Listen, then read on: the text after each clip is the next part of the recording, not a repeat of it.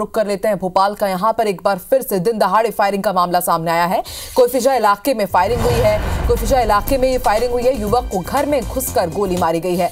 आपसी विवाद के चलते युवक को घर में घुसकर गोली मार दी गई और युवक गंभीर रूप से घायल है। उसकी हालत गंभीर बताई जा रही है। घटना का सीसीटीवी फुटेज भी सामने आया है और फ़िलहाल पुलिस आरोपियों की तलाश में जुटी हुई है।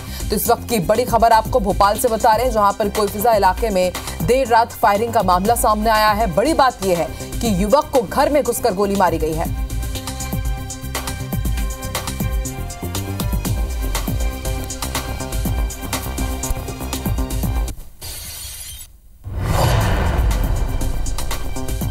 चलिए और ज़्यादा जानकारी के लिए सीधे रुक कर लेते हैं भोपाल का हमारे संवाददाता हरप्रीत कौर। रीन इस वक्त लाइव जुड़ चुके हैं। हरप्रीत, भोपाल में आखिर क्या हो रहा है? बीते दिनों हमने देखा कि दिन दहाड़ी किस तरह से युवक तमंचा लहरा रहा था, लोगों को रोक रोक करके मारा पीटा जा रहा है, महिलाओं के साथ यहाँ पर बर्बरता हो रही है और अब देर रात घर में घुस करके गोली मारी जा रही है। यानी कि कानून व्यवस्था का खौफ किसी को भी नहीं। आखिर अपराधियों के हौसले इतने बुलंद कैसे हो गए हैं? और ये पूरा मामला क्या है? क्या ऐसा विवाद था कि घर में घुसकर गोली मार दी गई और युवक की स्थिति अभी कैसी है?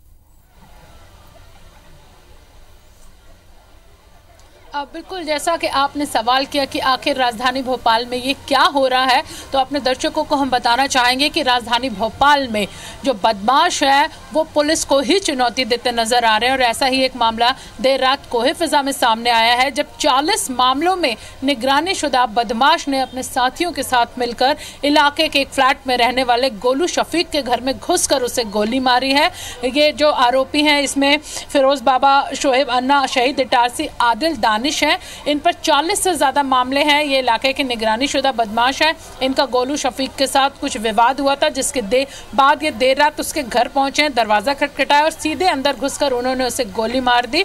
गोलू शफीक की हालत बेहद गंभीर है। वेंटिलेटर पर एक निजी अस्पताल में ज़िंदगी और मौत से वो जूझ रहा है और इस पूरे मामले के सीसीटीवी फुटेज सामने आए हैं, जिसके बाद पुलिस दावा कर रही है कि जल्द ही आरोपियों को गिरफ़्तार कर लेगी, लेकिन अभी तक घटना के 12 घंटे बीत चुके हैं। पुलिस के हाथ आरोपी नहीं लगे हैं, यानी आरोपी फरार हैं। दावा ज़रूर पुलिस कर रही है, लेकिन समझा जा सकता है कि निगरानी शुदा बदमाश और वो भी इस तरह घर में घुसकर गोली मारकर किसी शख्स को घायल कर देते हैं। जी।